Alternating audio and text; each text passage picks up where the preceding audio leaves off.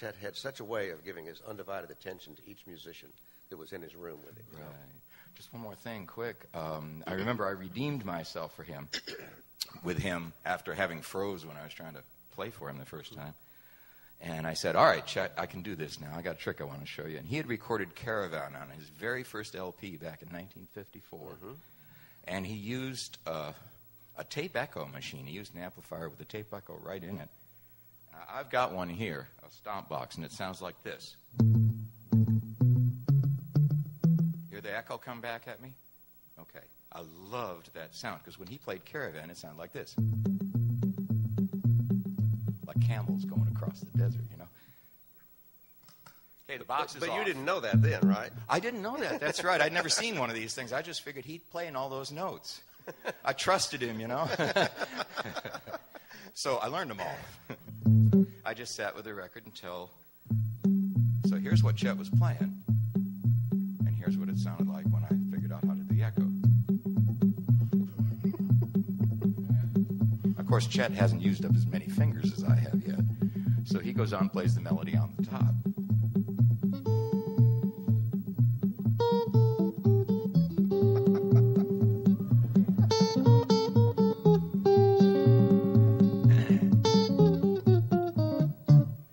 And he. Thank you. and he looked at me across the desk and he took his cigar out of his mouth and he leaned forward and he said, That's pretty good.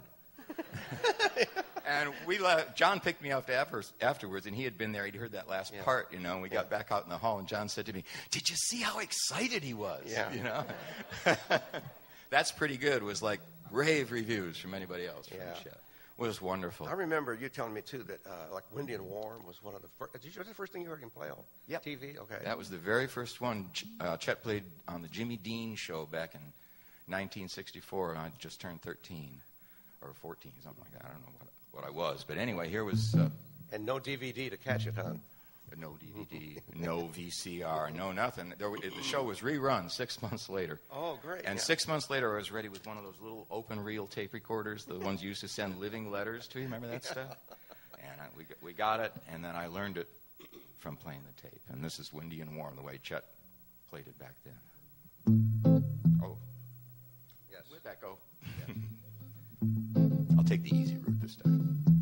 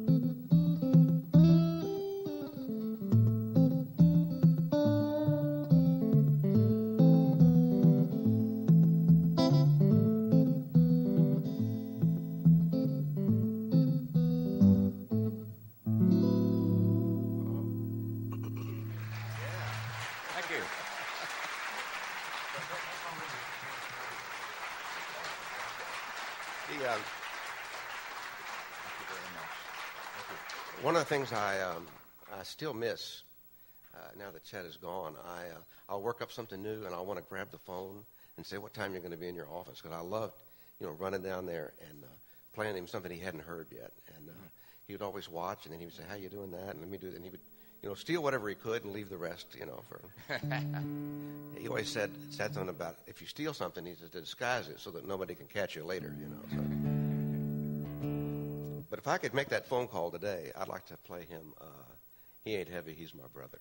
Yeah. So I, since you guys are all here today, that's and and he's here with us, I think maybe I can play a little something for Chet. Something I would run to his office and play for. He ain't heavy. He's my brother.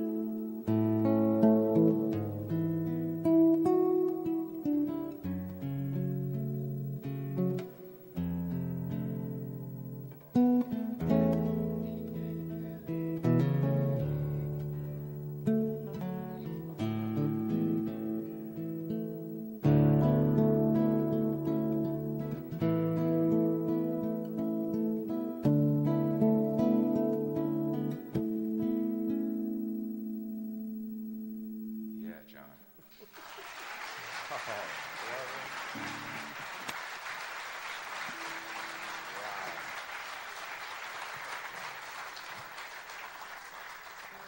Oh, thank you. I, uh, I'm going to bring uh, Muriel Anderson up here. Uh, Muriel and I met because mutual friends kept introducing us. Uh, and finally, I drove up to Chicago, and then she gave me a lift on up to Milwaukee to a guitar festival. And during that time, we became acquainted, and, uh, and I found out what all she could do, which is like practically everything. I think, I think anything with strings, right? You know? and some things without strings, yeah. Well, I always like to learn other instruments just for fun. but Yes, Guitar's yes. the only one I do for, for real. Well, and you, you, uh, you knew uh, Chet's brother-in-law. Right. Uh, one of the instruments I took up just for fun was a mandolin. So I took mandolin lessons from Jethro Burns out in Evanston, Illinois, when I was going to DePaul University um, up in Chicago. So I'd take the train every every week, and one day I picked up the guitar and I played a, an arrangement I was working out of Nola for Jethro. And he said, "Ah," I said, "Well, you got to meet my brother-in-law." And turns out that Jethro Burns and Chet Atkins married identical twin sisters. So the next time that uh, Chet came to Chicago, Jethro made the introduction. And I had a hotel gig that night. I wasn't playing concerts yet. I was only playing this one hotel. And, And so I uh, got him on the phone. I said, "I'm sorry, I can't come to your concert at Orchestra Hall, and you know, I've got to, I can't get out of my gig." And he said, "Well, what time's your gig over?" Over and and he said, "My gig's over about the same time." So he he talked about both of our gigs in one sentence like that. and uh, so he said, "Why don't you just you know, you know meet up?" And and uh, so after uh, after I finished the hotel, we just met up and uh, played some. I played some tunes for him. He played some tunes for me, and and and I, I told him, well, this this is a tune I, I learned from your record, and I, I played uh, Wheels in, in the key of A, the way I, I heard it. And he listened all the way through. And he said, that's very nice. Uh, I play it like this. I put a capo on the second fret, and I, I play it in, in a G tuning, like this.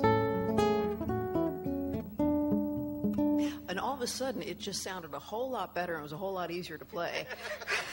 so I learned the whole thing wrong.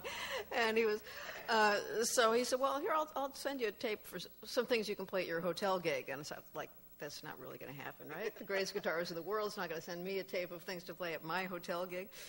Well, a few weeks later, I got a tape in the mail.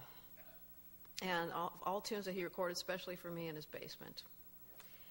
And a lot of those I recorded on my Heartstrings uh, re- recording. It was a cassette, later CD. And uh, so we, and I started sending him tapes back of songs I was writing, things I was working on, and he sent me tapes. So we did that for a while until I started coming to Nashville and hanging out at the office and talking to Clarissa, his secretary, until finally he'd come down the stairs and said, "Hey, okay, I'll show you something now." Until he broke down and showed me something, and you know, eventually I just moved to Nashville. So. Uh, Why not? Yeah, well, I'll play the tune that uh, that introduced me to Chet, and I'm doing it here on my harp guitar today. I just worked it up on the harp guitar, so here I'm playing something new for you. Um, uh, I usually play it on a guitar like John's, uh, but uh, I'll play it on this and improvise on it a little bit with the uh, extra sub basses and super trebles here. This is Nola.